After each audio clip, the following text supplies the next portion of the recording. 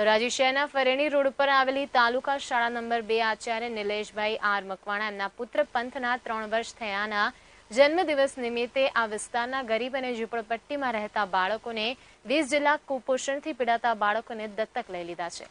ધોરાજી શહેરના ફરેણી રોડ ઉપર આવેલી તાલુકા શાળા નંબર બે આચાર્ય નિલેશભાઈ આર મકવાણા એમના પુત્ર પંથના ત્રણ વર્ષ પૂર્ણ થયાના એમના જન્મદિવસ નિમિત્તે વિસ્તારના ગરીબ અને ઝૂંપડપટ્ટીમાં રહેતા બાળકોને વીસ જેટલા કુપોષણથી પીડાતા બાળકોને દત્તક લઈ અને આ બાળકોના ખોરાક અને દવાની જવાબદારી ઉઠાવીને બાળકો કુપોષણથી મુક્ત બને ત્યાં સુધી સંપૂર્ણ જવાબદારી એમના દીકરાના જન્મદિવસ નિમિત્તે નિલેશભાઈ મકવાણાએ લીધી છે.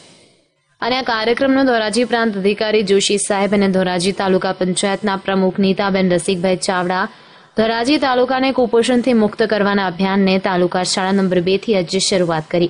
અને પોતાના બાળકનો જન્મદિવસ ઉજવ્યો છે અને આજે જ્યારે પશ્ચિમી સંસ્કૃતિ તરફ લોકોની ઘેલછા વધી રહી છે, ત્યારે નિલેશભાઈએ ભારતીય સંસ્કૃતિનો ઉમદા હેતુ રાખી અને ગરીબ બાળકોના આરોગ્યની ચિંતા કરી છે.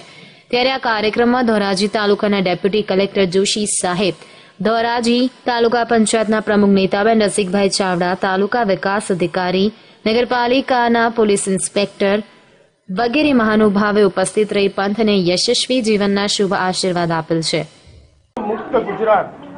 આપણે કુપોષણમાંથી આપણા બાળકોને મુક્ત કરાવવા જોઈએ. આ અનુસંધાનમાં અત્રે ધોરાજી સબ ડિવિઝનમાં અમે નવી પહેલ સ્વરૂપે જેટલા પણ ધોરાજી સબ ડિવિઝનમાં ધોરાજી, ઉપલેટા, જામકંડોળાના બાળકો છે, તેમને કુપોષણમાંથી મુક્ત કરાવવા માટે અધિકારીઓ અને પદાધિકારીઓના સહયોગથી આજથી અમે એક નવા મિશનની શરૂઆત કરી રહ્યા છીએ. જે અંતર્ગત આજે સૌ પ્રથમ શ્રી નિલેશભાઈ મકવાણા, તેઓ શ્રીએ તેમના બાળકના જન્મદિવસ અનુસંધાનમાં તેઓએ કુલ હાલમાં વીસ બાળકોને દત્તક લીધેલ છે.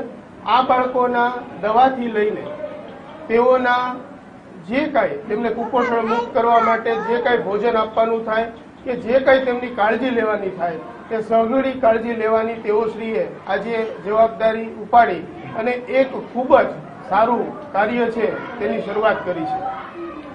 આપણે સૌએ આપણા જન્મદિવસની ઉજવણી કદાચ કેક કાપીને ન કરીએ, પણ કોઈ એક બાળકના જીવનમાં આ રીતે જે તેજનો દીપ છે અને એના જીવનનું ઉજ્જવળ ભવિષ્ય છે, એનું પહેલું પગથિયું આપણે બનીએ, તો હું માનું છું કે આપણો જન્મદિવસ છે તે ખરા અર્થમાં સારી રીતે ઉજવાણો કહેવાય.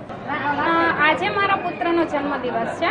ઘણા ટાઈમથી એવી ઈચ્છા હતી કે કંઈક પુત્રનો જન્મદિવસ વિશેષ રીતે ઉજવીએ. એના અનુસંધાને આજે ધોરાજી તાલુકા અને ઉપલેટા તાલુકાના પછાત વિસ્તારના બાળકો, એટલે કે ધોરાજીના શાળા નંબર બેની આજુબાજુનો વિસ્તાર અને ગાધા પ્રાથમિક શાળા, એટલે કે ગાધા ગામના પછાત બાળકો છે, કુપોષિત બાળકો છે, તેનું કુપોષણ દૂર કરવાની જવાબદારી આ અર્થે અમે અમારી શિરે લઈએ છીએ.